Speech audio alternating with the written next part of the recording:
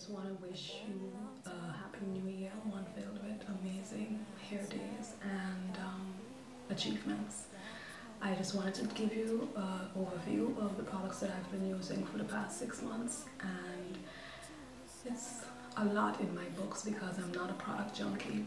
Um, I noticed that I really experimented a lot in 2013 and I really wanted to find out what was out there and how it interacts with my hair. As you can see since I cut my hair again in September, this is what it looks like. I didn't wear a style just to show you how long my hair is at this time. Um, I didn't measure it, but as you can see, it has more or less kind of grown since I cut it in September. Um, I have also been keeping the products that I finished. I held on to them to see in the end which one I'm going to keep and which one I'm going to toss. So I'm just going to give you again an overview of the products that I had good results with and those that I just gonna keep on using until they are finished. I am not a believer in um, tossing um, things and wasting products. So I'm gonna use them. they they may not be brilliant, but they do the job. They may not um, last for the next round of products, but that's okay. And um, I hope you get something from the video. Enjoy.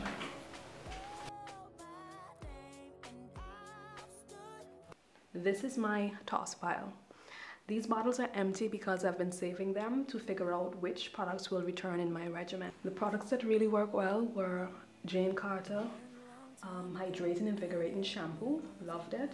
Um, Design Essentials Daily Moisturizing Lotion. Um, this is a coconut oil that I had from Patricia, made in Nevis. I really enjoy that product. Cantu Shea used to be one of my go-to products, but I am not so crazy about it these days. The Grow Strong Strengthening Treatment and the Leave-In Conditioner, they don't quite work for my hair anymore.